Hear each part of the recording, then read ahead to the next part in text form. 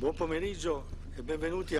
Good afternoon and welcome to uh, the meeting on the forming of society in Mesopotamia and in the Bible, person and state, to yesterday and today. This is a very interesting cultural subject. The best thing about the meeting is that it opens up new horizons and it's very important to keep the horizons solid and sound if they're good ones. But it's a very good idea to open new horizons, and Giorgio Buccellati, our guest, does just that. We've been used to thinking about the pre Grecian civilizations as dead civilizations, very interesting history and stories, but they don't really, we think, have any import on our life. The uh, research of Buccellati, indeed the family Buccellati that have worked on this subject for years, this research has achieved enormous results and opened up new horizons. Archaeology has become something which is not only fascinating but also of interest for us today. And things that happened in Mesopotamia in fact touch upon us, touch us today. Now, we're going to look today at uh, what was that something that brought together areas of knowledge which usually don't impinge on one another. They respect one another, but they don't really interweave. And this opens up new ideas and it's a challenge as I was saying to my guest just a while back because the world of research and uh, uh, academia is not particularly revolutionary. So when a discovery overturns the spheres of knowledge, well, usually there people put up shields. And when it was discovered that archaeology and the doctrine of the state and biblical exegesis uh, all tend to interweave together. Well, this discovery, in fact, tended to be shunted on one side because it meant that too many books had to be rewritten. And these books that Giorgio Buccellati has written now will force people, honest people, to rewrite many books. And because it does overturn things. And this is what we are going to listen to today. Two volumes of a very interesting series of research have been already published. I hope to have a copy of this to show you. Indeed, this round table is about these books. The first of and the last of a series of four have been published, and it's against the backdrop of uh, these publications, as I say, that we're talking today.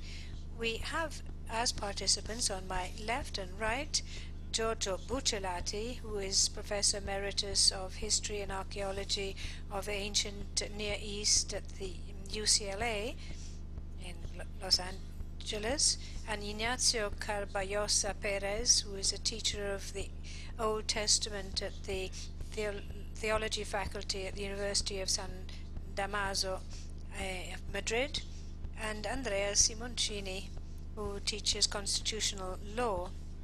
Now, we are going to have three chapters, and each of these three chapters will be dealt with by our speakers. So I have to ask you to applaud at the beginning and at the end, but not in the middle because in fact you'll break up the sequence. So you can applaud now and then at the end.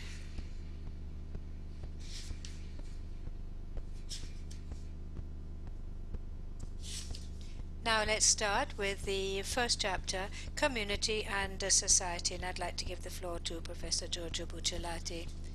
Well, can we have the title, please? asked the professor. Now, these are the three chapters, as Robi said. Community and society, the cost of solidarity, the impact on uh, the person or on society, and the model of socialization. So let's start looking at the Mesopotamia question.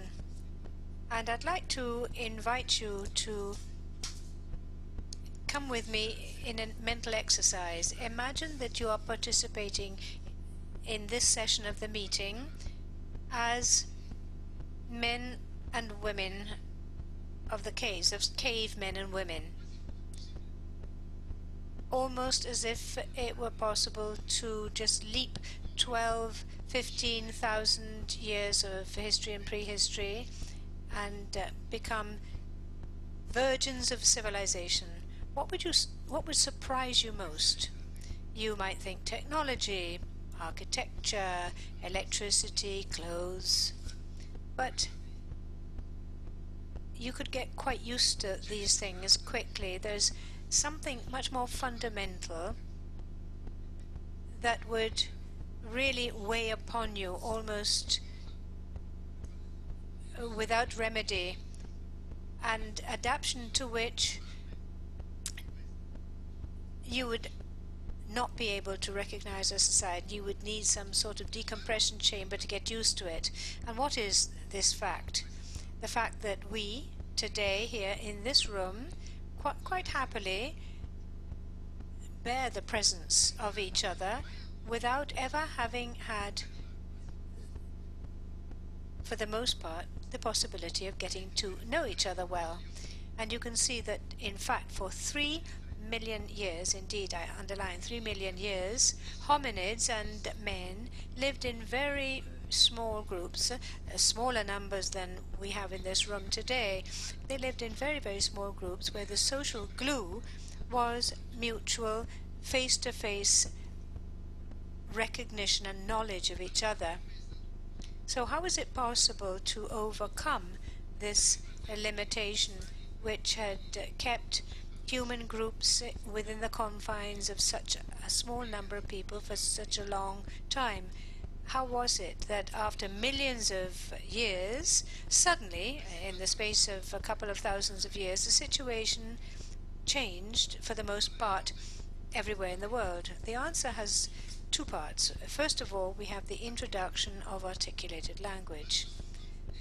The assumption is that this radical change and the development of articulated language took place about 50,000 years ago. Not that hominids and men didn't emit differentiated sounds before, but articulated complex language from a phonic and syntactic point of view is something completely different to just emitting sounds.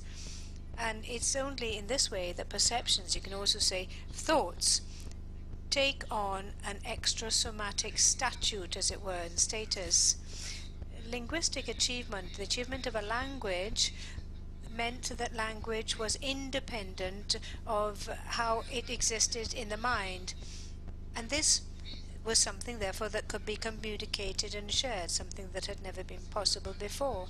The second answer to our simple question of uh, how is it that a human group was able to change so very rapidly and radically was the development of an ability that I would call meta-perceptive. In other words, the ability to put two or more perceptions into relationship, but which are at the same time not adjacent in time and space. The example I give is the relationship between seed and plant. To be able to see the consequentiality of these two things means that you take disparate elements and you drag them uh, together after long spans of time and this, in fact, goes to a whole series of other things. For example, the nature of the soil and the ability to farm it. You can see how these two faculties, uh, bringing together distinct elements and to uh, develop linguistic embodiment, as it were, articulated language, that these two things were able to exponentially increase man's control over the world, the natural world, and this led to the emergence of society as a meta-perceptive community. So in this way, we see a new ability to frame and understand reality into pigeonholes, autonomous pigeonholes. The practically immeasurable advantage was that these pigeonholes could be easily manipulated and controlled, and you could foresee their functioning in a mechanically accurate way. So in the same way, you could put into pigeonholes human beings as well as nature, seeds and plants and so on. It was no longer therefore important or necessary to know each other personally. If you needed a pottery vase, you could go to a potter, even if you didn't know him. The pigeonhole potter was more important than the content of the pigeonhole, you know, i.e., a potter that you know personally. And therefore, uh, you can situate the setting up of a society proper in this way. Before, there was just a community where relationships were strictly personal. Now, today, society made it possible for individuals to relate among themselves in a more functional rather than personal way. The degree of efficiency therefore became incomparably greater. The availability of functions had no comparison with the availability of people, and therefore human beings learned to relate to one another in a completely new way. And this is when we see come into come onto the scene the use of power, in other words, politics. Only those who are able to control the ramifications of society at all levels and uh, who can give a sense of governance or direction which is indispensable for the coherence of the group. And this coincides with the formation of the state as an entity in which power is administrated in a systematic sovereign manner, i.e., excluding external interference. Therefore, now you can understand that experimental game I wanted to play with you at the beginning, because we here today are perfectly at ease uh, among ourselves, even if there really isn't an, oh, an us. I mean, we're all individuals, and we don't know each other practically, but we share a huge number of functional relations that, bind us one to the other. Here at the table, a top table, our function is to present a subject. There in your seats, your function is to follow the arguments, even if you really don't have any idea who we all are. Our social synergy is very real, even if it's very limited in time and space. Uh, it will in fact just dissolve in a few minutes the minute we leave this room. But it's a very efficient synergy in these very few minutes, even if we don't know each other. We have shared a sense of shared, we hope, shared finality, which hopefully will give more long lasting uh, fruits and products than uh, the duration of the few moments that we're going to pass together. Now, let's look into the uh, Mesopotamia and let's look at a small people called Israel. And we want to surprise Israel in its self-awareness in what it says in other words of itself. How uh, this people conceives of its origins. What are the const constitutional elements that make up its personality. In other words, what accounts does Israel refer to when it has to explain itself? And the answer to these questions you find in the Bible, which is the real content and receptacle of the self awareness of the chosen people, which has been forged by its history.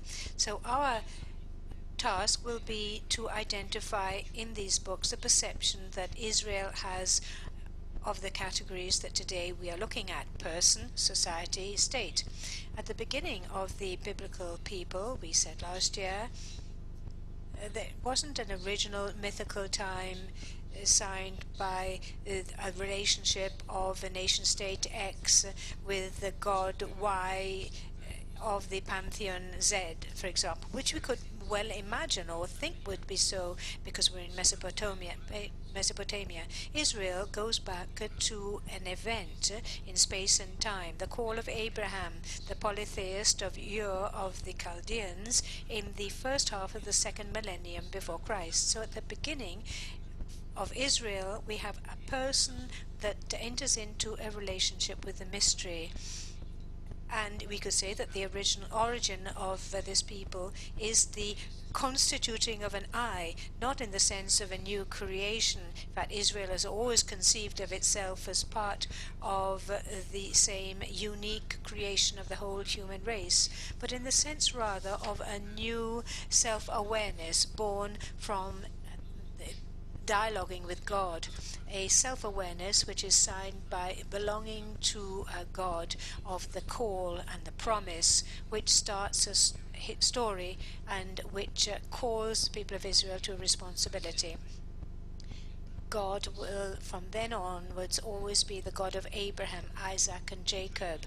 In other words, the God that has revealed himself in a particular relationship in a particular historic time. But in the setting up of this I, the call of Abraham, we see the constitution of that relationship as being the promise of a new society, the promise of a people that will be born of faith. Now the Lord said unto Abraham, Get thee out of thy country, and from thy kindred, and from thy father's home, and unto a land that I will show thee, and I shall make of thee a great nation, and I will bless thee, and make thy name great, and thou shalt be a blessing. So a family story starts here signaled by the dialectic between the impossibility of uh, the uh, circumstances, sterility, danger, hunger, and the always possible, which characterizes uh, the interventions of God in history. So a people is born which, in its self awareness, will always say, We are the sons and children of uh, Abraham. And in fact, in the perception that Israel will develop, with regard to the origin of humanity and its accounts of creation, it's the person that is created in the image and likeness of God. It's not a city, not a state.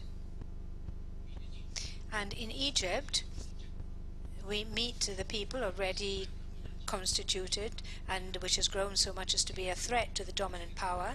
We have a, a people which is made up of family tribes, uh, together and united by a common ancestor.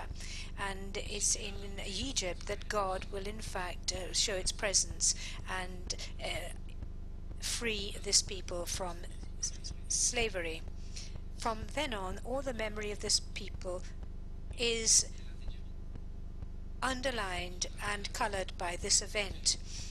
It is the foundation of uh, the alliance. It's uh, the content of liturgical celebrations which is passed on from generation to a generation. With the period in the desert, with the alliance on Sinai and the laws which follow from it, represent the constitutive period of the, this people. And in the law and in the Pentateuch, this is the period where we see uh, the founding elements of uh, this people. Let's have a look at these elements. First of all, it's a law in uh, opposition to uh, the Mesopotamic laws, which uh, it's a law which is set within the framework of a narrative, i.e., the story of the relationship between God and his people. In fact, uh, very often the commandments find their justification in the history of the benefits that Israel has received from God. The law is not promulgated by a king, it's not linked to the authority of a law, it's the law of God. Moses, called the legislator, is only a mediator. He's not a king, he doesn't have palaces, nor does he have a scepter, armor, army, throne, territory. He does not found any dynasty. He's a prophet, and he too comes under the law, indeed, because in fact uh, he was uh, vacillated before the law, he will not enter the promised land. Indeed, this is, however, not a law which is promulgated in connection to any territory. It's delivered in the desert and is not a law which applies within a state frontier. It's a personal, not territorial set of laws, in fact, and it governs the relationship between God and the people. And the law for a people, for an ethnic group, the law refers to an ethnic group with whom God has established an alliance. It's not a code of laws promulgated by a king for a particular territory the individual who belongs to the history of a people remains the center of legislation. And when uh, the people entered uh, the uh, promised land, it's uh, made up of uh, various tribes which are in fact linked to the uh, ancestor and they are joined together to be part of the alliance with God and God is not the guarantor who it would be uh, not the guarantor of the law between the state and the king. God is a contractual party to this alliance. The part of the people, therefore, there has to be a consensus, and this has to be real and not sham and you can see this from the consequences and uh, uh, the consequences. And the people are responsible before God and not before man of any violation of the law. So from this, we see the role of the prophets, which uh, bring uh, the people before the tribunal of God and not before a human tribunal. Certainly, there are judges and human uh, trials because uh, there has to be regulation of the laws, but uh, it will always be crimes against the divine uh, alliance, even if they are committed and against a fellow person. And therefore, what we have heard are two stories which represent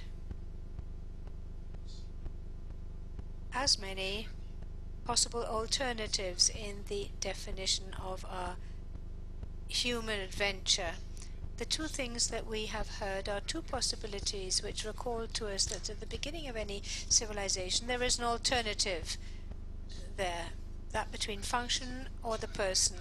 At the beginning, either there is the freedom of the I or there is a pigeonhole to mention uh, or to use a Buccellati's words, the function that we each have in a particular society. These are dense with meaning. Man discovers the ability to be able to pigeonhole reality into abstract categories, in other words, taken from reality but independent of it.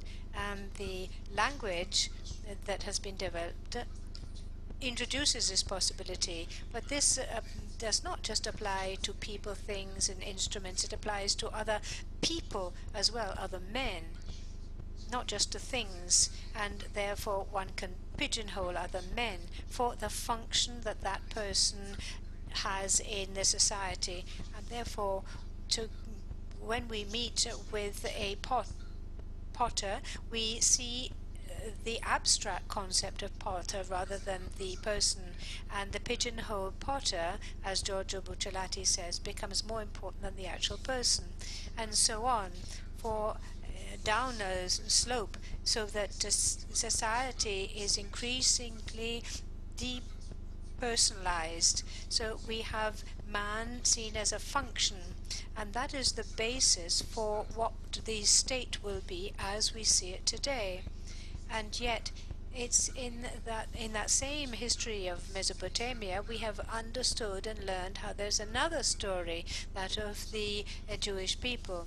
Uh, what can come combat the inevitable use of functions rather than people? Only the I can oppose this.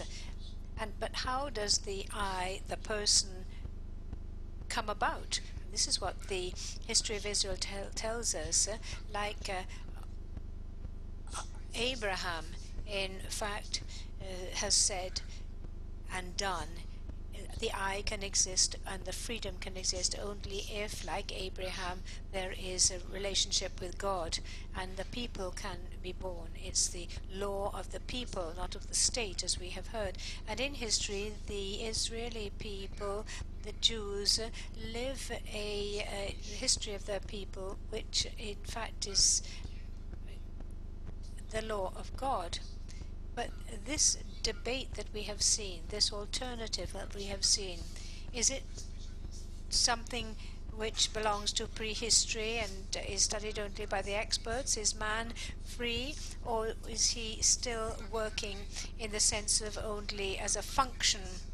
Can he, in fact, be a person or is he confined within the restricted space of uh, a pigeonhole?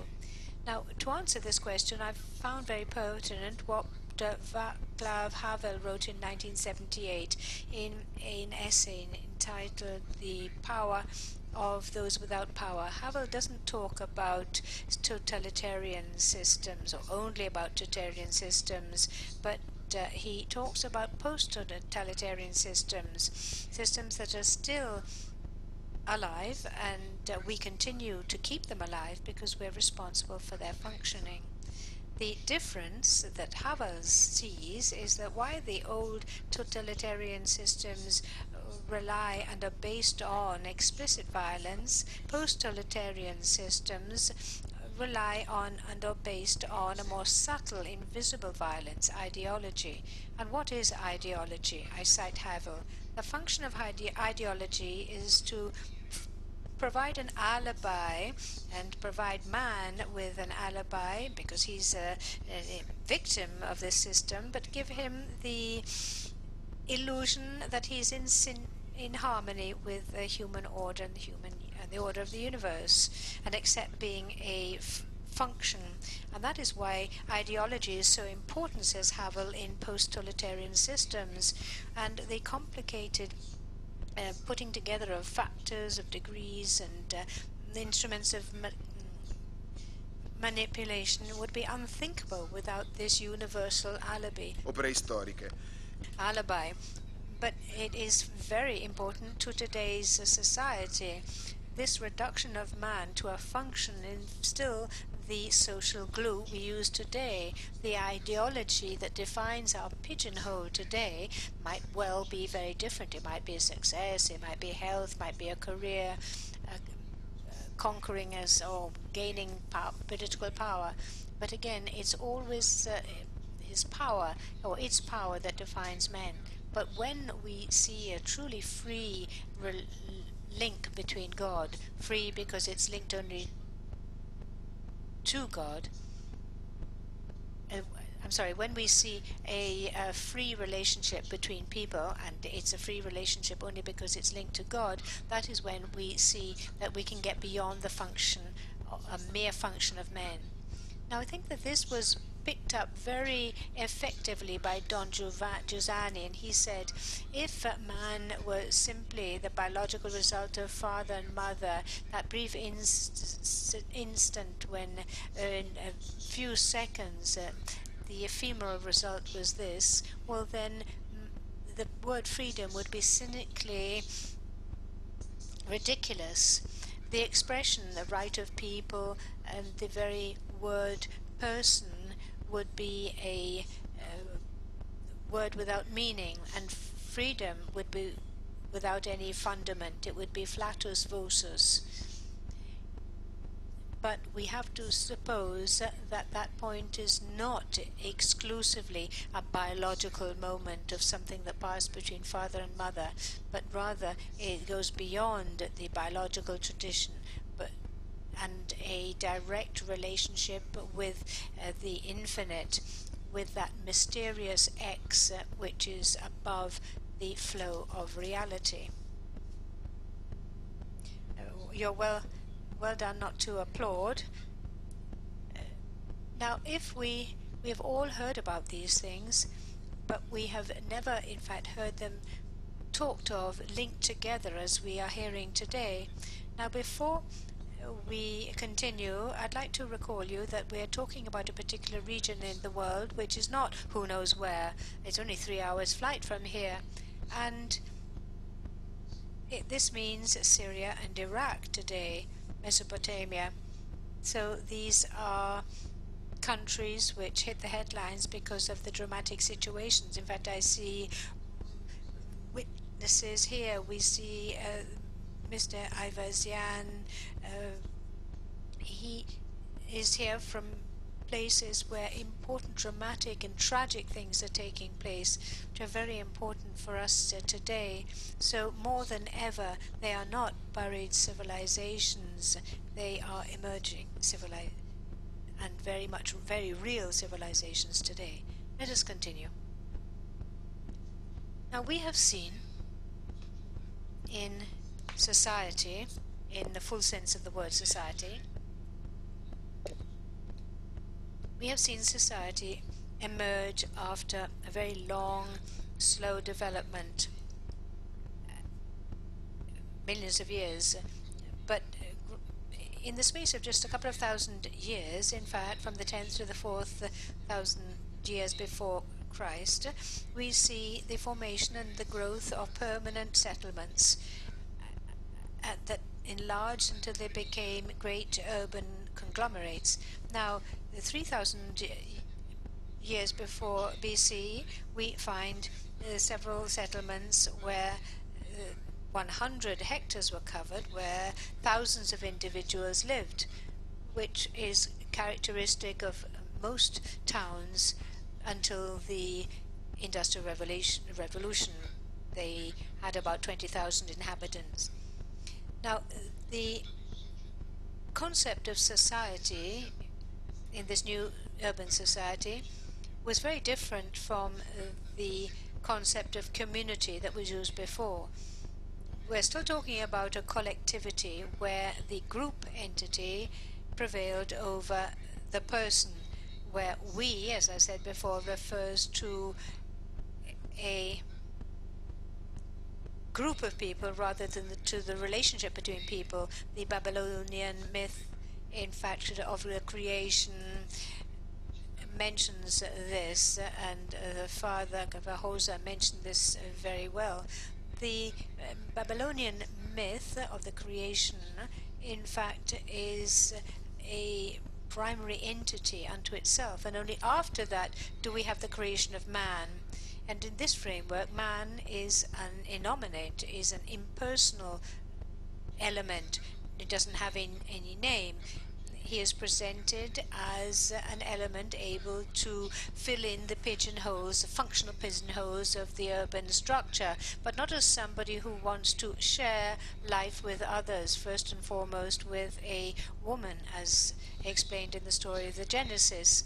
And in this sense, therefore, we can see a very uh, subtle polemic in the Bible which helps to throw light more clearly on the Mesopotamic conception of the city as a collective, an impersonal collective of people.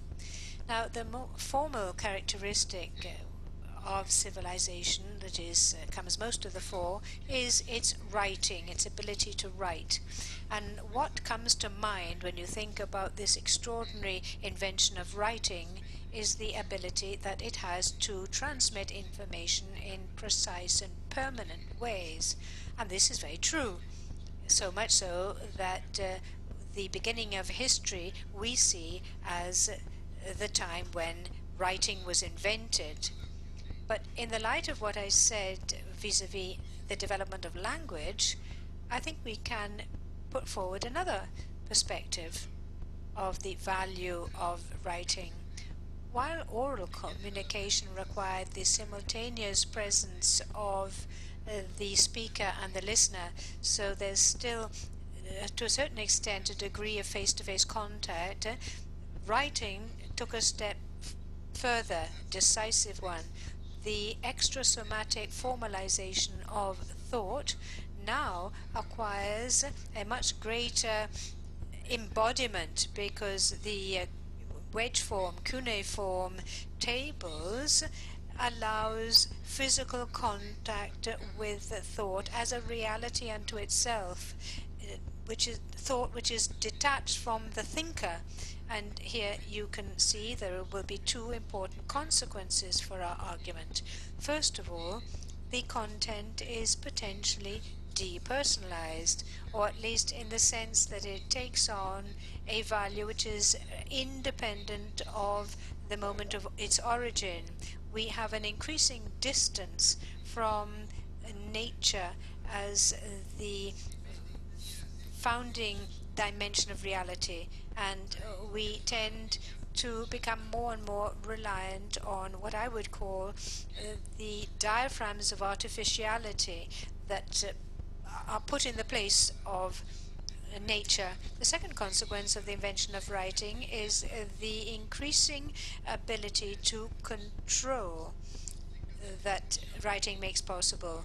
Those functional pigeonholes now take on a physical autonomous characteristic. The most of the cuneiform texts, in fact, are of an administrative nature, where groups of individuals and individuals and commodities appear literally visibly uh, in and as pigeonholes. So the control of thought becomes very concrete. Now, we still, in fact, are living in the wake of these enormous upheavals, and in the light of what we have seen, we can, I believe, give a more in depth judgment of what is happening to us today. If you think of the computer, the digital systems that we have allow us to as it were, extra somatize thought, not just as a static set of data, but uh, also in terms of a dynamic process. Programs manipulate and transform data uh, independent of any human agent, even if they're still guided by them at the end of the day. The distance from nature and the ability to control, therefore, becomes even wider. Now, uh, with the greater efficiency of our society and our civilization, uh, we have, or that's the main hallmark of our society. Otherwise, we wouldn't be able to sit here in the room without knowing each other. The solidarity that links us allows us to achieve uh, levels of sharing that would be inconceivable outside the social dimension that is ours. And as a result, we in fact personally enrich ourselves. My effort to develop an argumentation allows me to be comforted by your attention, but also I hope that you can draw personal entertainment and pleasure from listening to me. The diaphragms of artificiality, as I've put it, are not a condemnation to death of nature. We can become enriched uh, in our humanity and in our naturalness as a result of our social systems, but also it can be the source of destruction. And an example is one of the most disastrous side effects of civilization slavery. This is the extreme functionalization of a human being, where the status of being a human is waived in favor of putting that person into a mechanical pigeonhole and at that point we arrive at the maximum peak of depersonalization. So uh, the important lesson there is that we mustn't be entrapped by efficiency. The important thing is to tame our very ability to tame and nature. Now we look again at Israel. We have uh, seen the birth of the city-state in Mesopotamia in contrast to the people of Israel and its birth.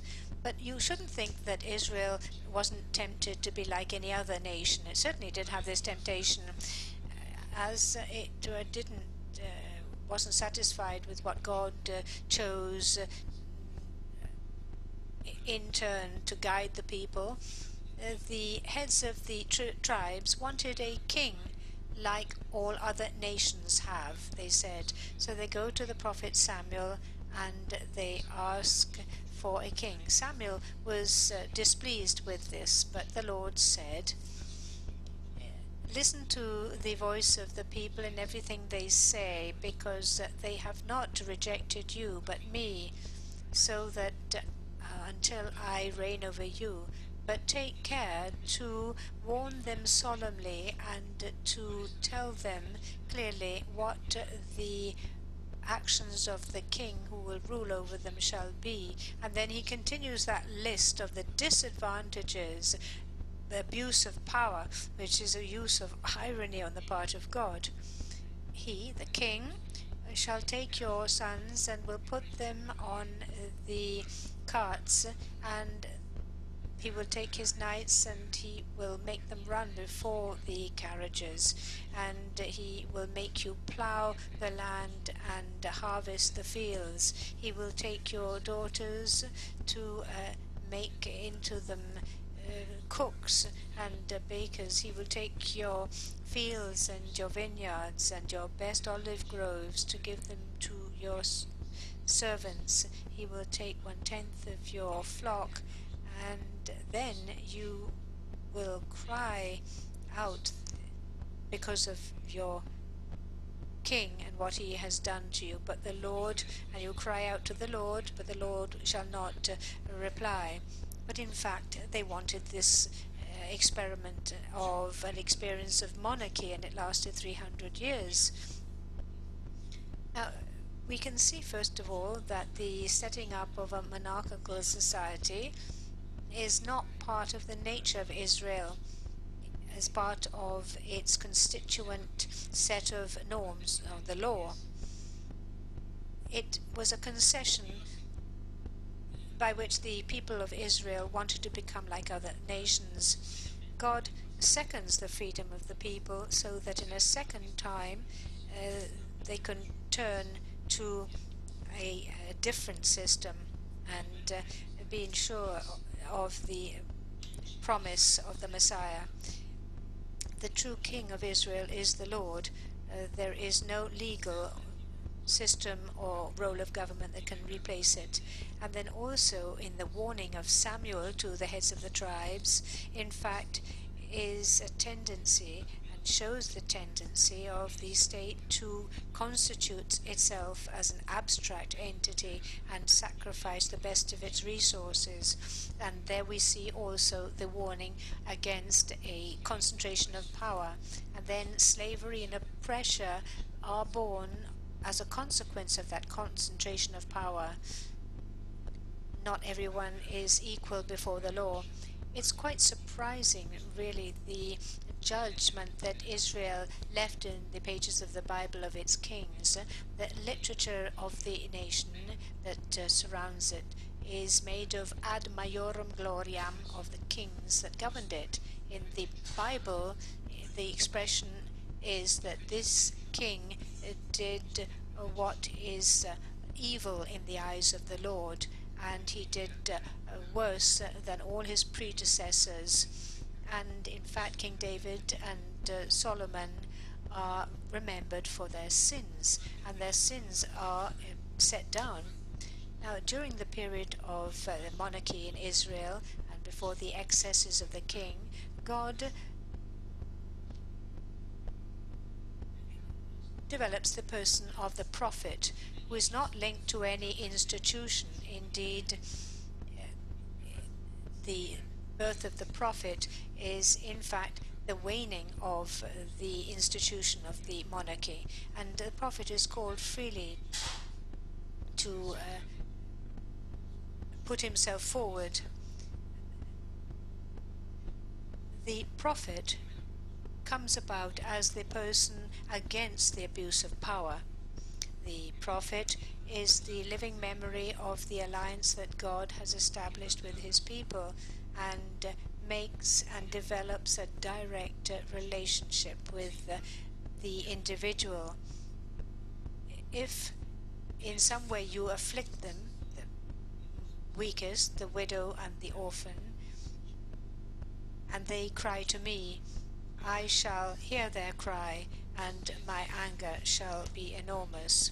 In fact, in the Bible, we see really audacious and very daring uh, criticism of uh, the monarch and uh, places the monarch before his responsibilities and before the real judge God. For example, Nathan, the prophet Nathan, in fact, criticizes uh, King David for his great uh, sin, for abusing his power and taking the wife of Uriah and killing him there's another less well known episode which is just and even more representative of the affairs of state. It's the history of, or the story, I beg your pardon, of the vineyard of Naboth uh, that was uh, near the palace of Achab, the king of Israel, the northern kingdom. The king needed more space for a, an orchard, and therefore he offered Naboth a vineyard elsewhere or the money. Naboth refused and uh, I shall not uh, give you the inheritance of my fathers, he says. Achab goes home anger, angered and irritated, and Jezebel, his wife, however, said, Are you or not the sovereign of Israel? Get up, eat, and uh, be of good heart. The vineyard of Naboth of Israel, I shall uh, let you have it. He uh, convenes a tribunal against uh, Naboth, and he paid uh, two false uh, witnesses, and he is put to death. And the king takes possession of the vineyard, and the prophet Elijah, Elijah, in fact, criticized openly the king and Jezebel. To find other episodes of abuse of power, we don't have to go very far. In our modern states, in our modern day, there are expropriations and embargoes that uh, are developed by modern states and using the raison d'etat, but which are little other than the abuse of power that we have talked of before. There are two episodes which we can draw in the conclusion of this. The law is the true God, the King of Israel, and uh, the King is uh, only a servant of the true God, and the King has to be subject to God and His law. And the king must ensure that he does not raise his spirit above his brothers. He is not above his brothers, but equal before his brethren before the law. And then also the prophet, who never casts into question the institution of the monarchy, nonetheless plays a role of trying to balance and cry out against the abuses of the king The prophets, in fact, represent a very important factor in the history of uh, God that underline to us that free men determined by the relationship with God are the continual memory of uh, this uh, factor. Now,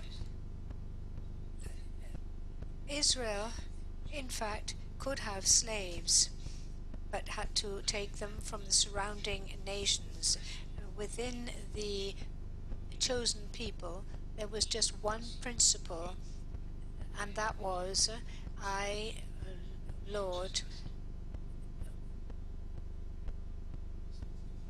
who've taken me out of the kingdom of Egypt, shall not be slave. None of your brothers shall be a slave.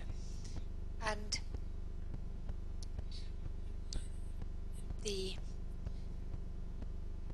Jubilee guaranteed this principle. And if one of yours becomes poor and sells himself to you, he shall not be your slave, he shall be like your guest. So here we have an example of uh, the link of the alliance. Now we come back to today. We have again heard a chorus with two voices, as it were. We have seen that more than 5,000 years ago we saw the birth of the Mesopotamic civilization and the idea of the state.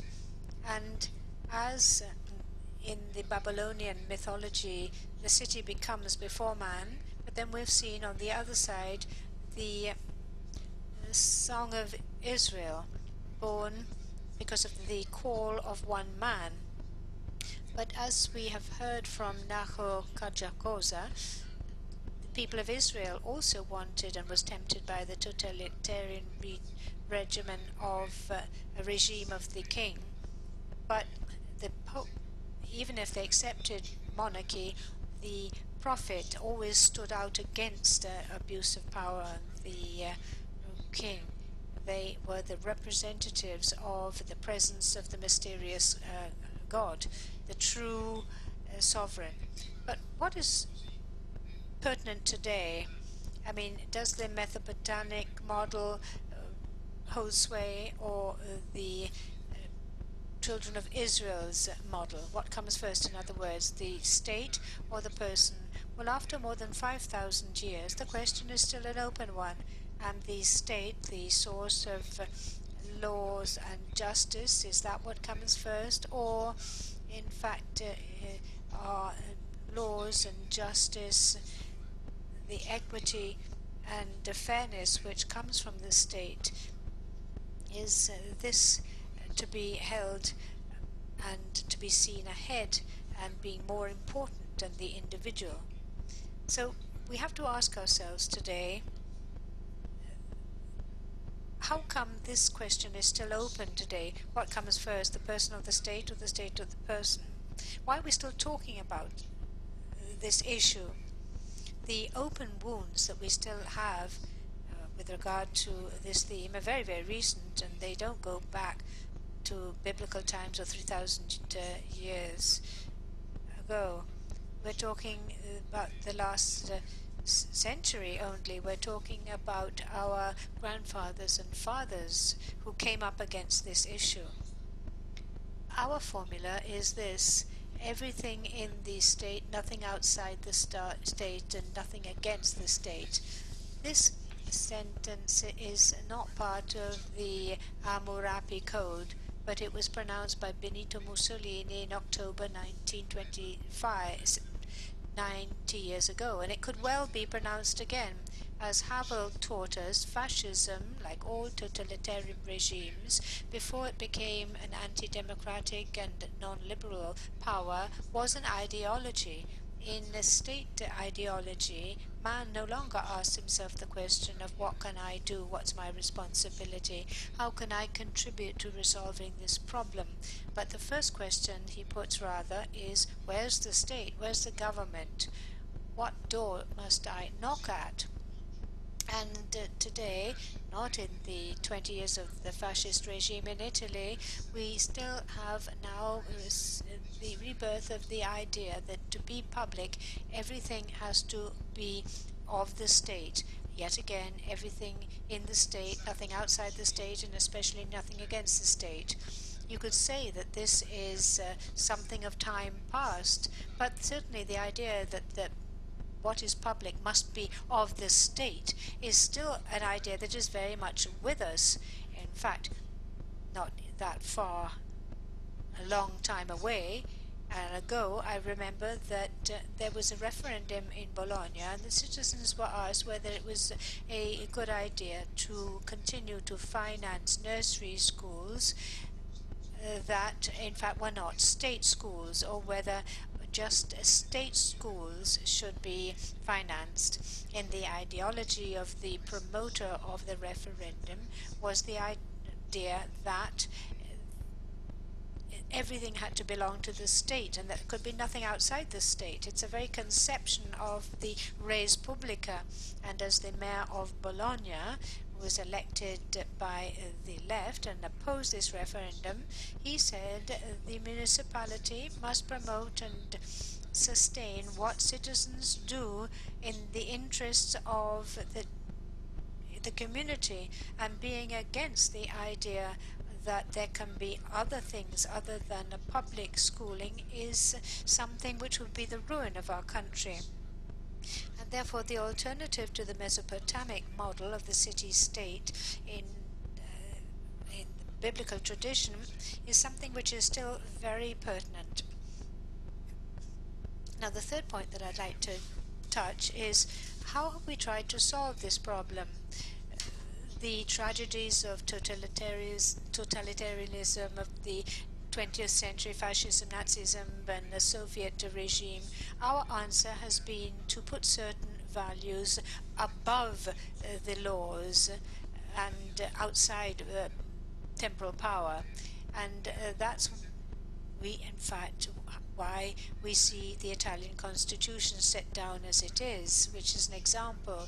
Article 2 of the Italian constitution says the Republic recognizes and guarantees unassailable rights to man as an individual, both in the social forms where his own personality and the fulfillment of his duties exist within a framework of political, economic, and social solidarity. Now, this constitution is saying that the person exists before the state, and the common house, as Giorgio La Pira called the constitution, the person has holds sway. Every uh, human person is an individual and must feel the need for the other, which in Christian language is called charity, and which in the constitutional language of the Constitution is translated as solidarity. Allow me to add that Article 2 of the region of Lombardy of 2008 is even clearer. Uh, it says that the human person is at the origin of all institutions. I don't think there's any founding charter that says this. It's only the Lombardy Constitution, but it does says this. And uh, Lombardy is larger than 10 of the 27 European Union countries, by the way. Let's come to Mesopotamia, which is larger than Lombardy.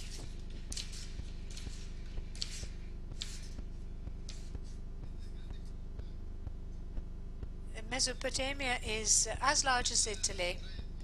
Now, in the journey we have taken, the actual physical territory is of fundamental importance. Uh, remember the concept of meta perception. Now, the relationship here with the actual territory, with the land, is of this type. We perceive ourselves as members of the same group, but not because we recognize each other personally, but because we live in the same place. And this place, therefore, becomes what we call territory when it takes on its own physiognomy with which we all identify. Our term of motherland or fatherland defines this relationship with a geographical envelope, as it were, through which meta-perceptively we recognize the other individuals of our group. In our particular case, this room is for a few moments our territory, our meta-perceptive envelope. And here we come to a very important consequence. There are no effective limits to this envelope. Beyond this room we have the meeting and then beyond that we have Rimini and so on and so forth. And also over and above the first cities we see consolidated larger and different and ever greater territorial unities, groups of cities, geographical areas, macro regions, right up to the extreme limits of territoriality, the empire. The Mesopotamic history presents as a very coherent institutional par parable in which the Assyrian Empire is the outcome. It's not just a very extended land, the image that we have an empire, you know, being very large geographically. rather, we have a new structural conception of the, the territory, which is totally functionalized, just as previously persons had been functionalized at the dawn of urban civilization. Now, there are two mechanisms which are necessary to bring about uh, this Assyrian imperial model. The first is deportations of people, which uh, breaks the bonds of freedom to one's country of origin, but is almost seen as a reward, not as a punishment, however, deportation. The second was to have administrative restructuring whereby the empire is segmented into provinces, into arbitrary entities which uh, have nothing to do or have little to do with the original conformation and configuration of uh, territories. Now, the emergence of uh, civilizations of uh, Syro-Mesopotamia, uh, the Syrian Mesopotamian territory, have shown us a paradigm which is all the more significant because it's uh, if the first one, and in fact it uh, remained uh, the example from uh, Rome onwards. In Mesopotamia, in fact, we Uh, find ourselves at the very origins of politics in its broadest sense. Politics in the sense of the use of power and consolidating power to organize and consolidate society. The concept of sovereignty is central. It reflects a maximum unchallenged authority within an area which increasingly wants to exclude other neighboring territories. So the logic of the empire is developed in an irreversible way and i.e. to extend its sovereignty throughout the civilized world and to grow always. And therefore, the empire, in fact, proposes itself both ideologically and administratively and is that formula of globalization that we are living through today. Uh, for good, enrichment, but also for bad, for the uh, flattening out and uh, of civilizations and people. Now, we have seen in a very brief period this take place. For three millions of years, communities developed very, very slowly, and it took only 2,000 years, however, to go from uh, the language and uh, the development of urban civilization to uh, the Assyrian Empire, which was uh, set itself out to be the centralized state. Now, the human person a state of emergency is the title of our meeting. Now, this title can be interpreted in two etymological meanings of the word emergency. We can talk about the emergence of man in the fullest sense, the emergence of a person linked to another person and bound by bonds that uh, go beyond the face-to-face rapport and also this is the emergence of man in the fullest sense of the word, the emergence of a civilized person, a human which is all the richer the more he in fact takes on the other and takes on the impersonal space. But where emerge becomes an emergency is uh, when uh, this becomes repression. And when we go to the extreme functionalization of people with slavery or the extreme functionalization of territory with the empire, we see uh, that from this emerging, we get to an emergency. Now, if this is the title of a meeting and it's an event, we should also recall the word meeting as an institution, meeting for the friendship of peoples. For the last 34 years, it's been like that. And here the accent is on the question of relations between people. Meeting, of course, means to come together. It means recognizing people rather than pigeonholes, anonymous pigeonholes. If, uh, in fact, pigeonholes can't meet uh, and come together, they can't make friends, certainly. So the emergency arises when we lose our humanity. It's the personal meeting, it's the meeting, the friendship, which is the fundamental aspect of encounter and that redeems us from uh, being anonymous. This is uh, the uh, true promise and way that we can only reach a truly human and uh, civil society. Now we have heard talk about the uh, Assyrian Empire, the real, the first real empire. Israel was under the yoke of this empire.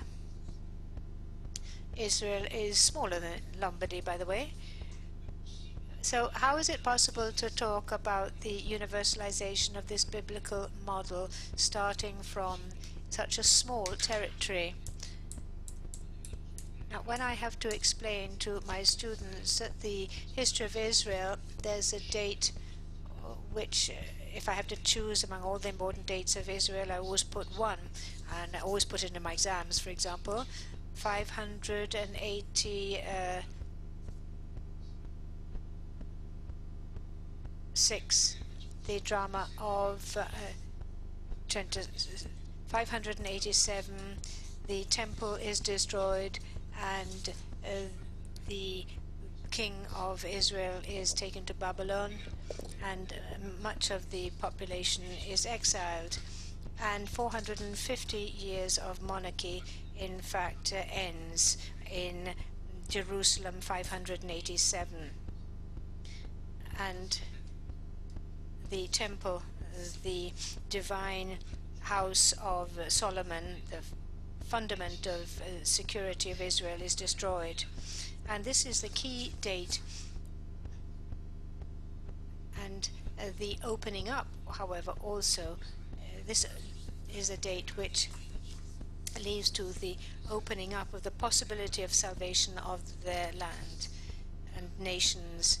But at that time, Israel was deprived of everything its uh, land, its uh, temple, and it has to underline and understand what it really has to do and what and where it has to turn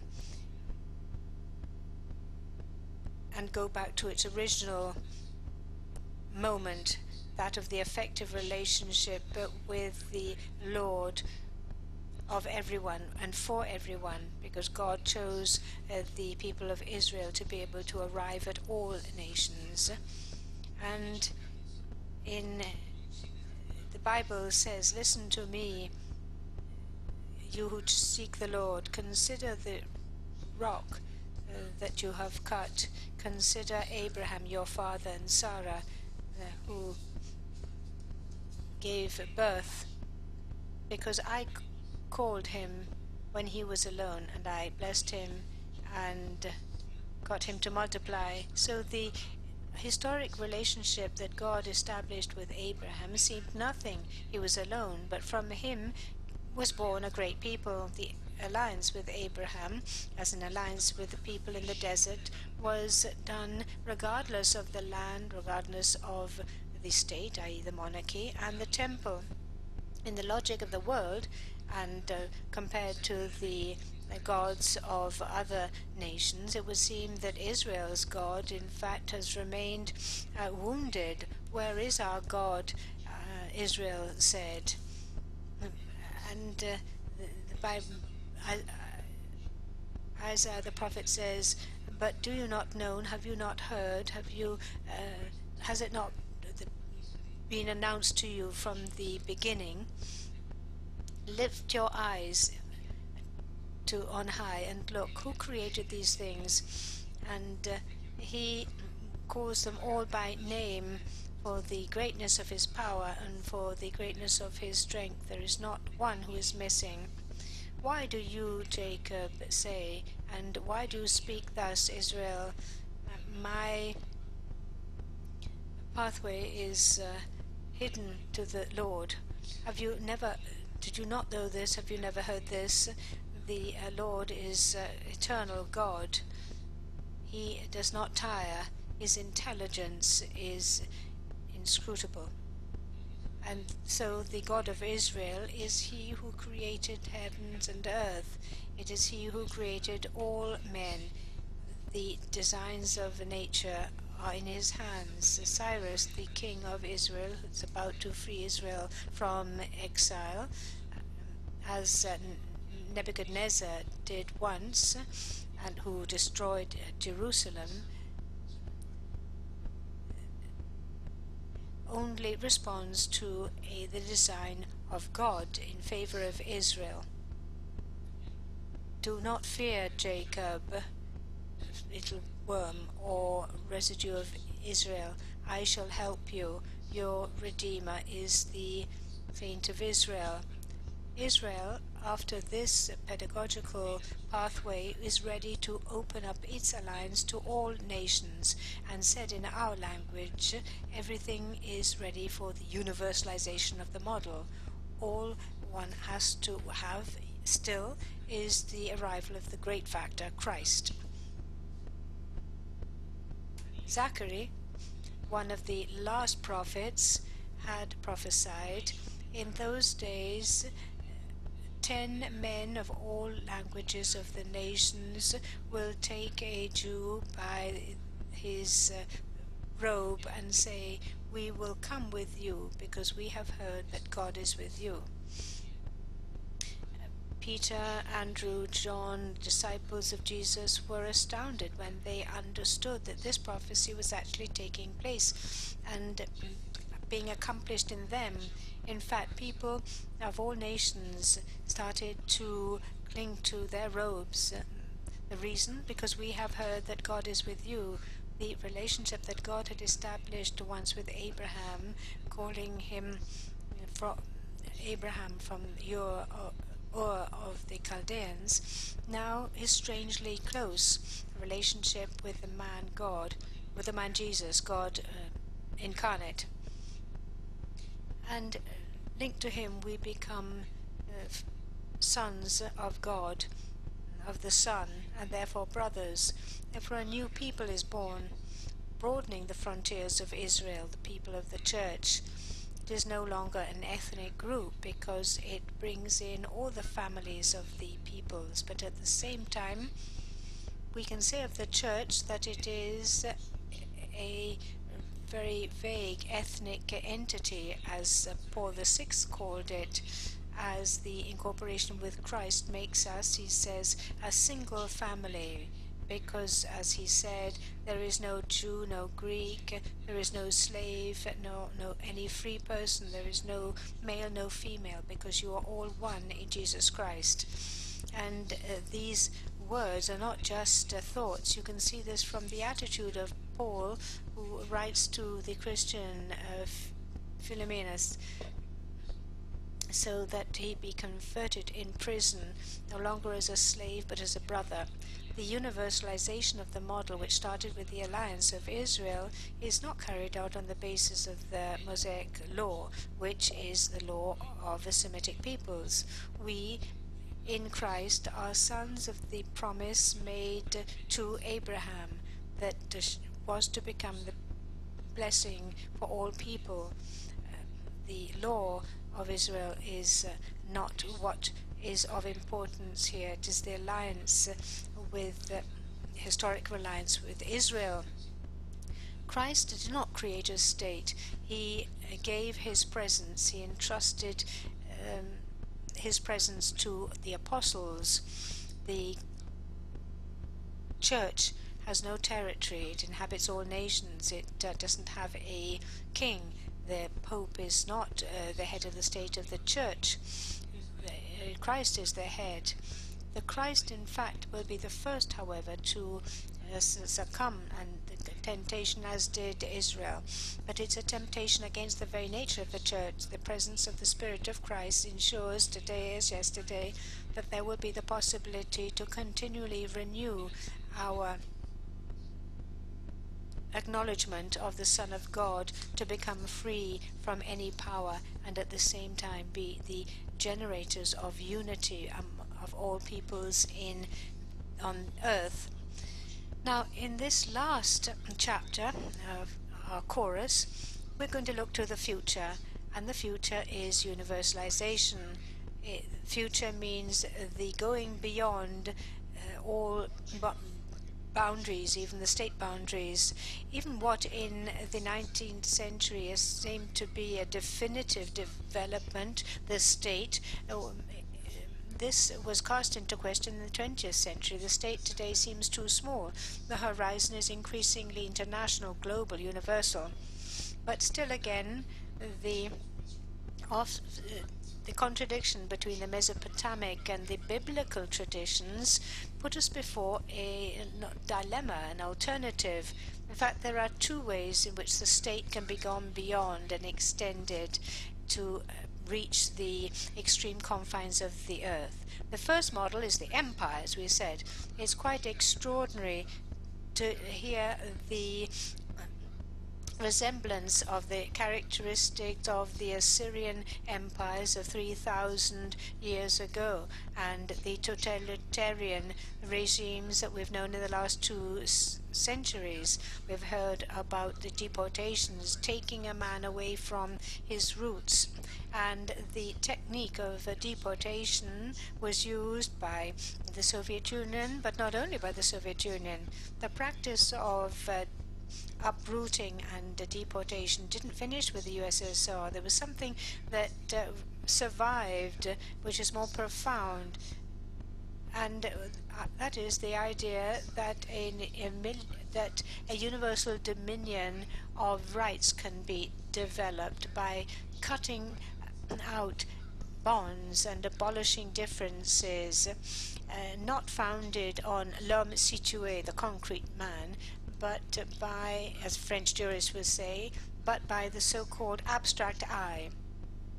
Everybody has the right to everything. This could be, in some, the code of Amu uh, Murabi.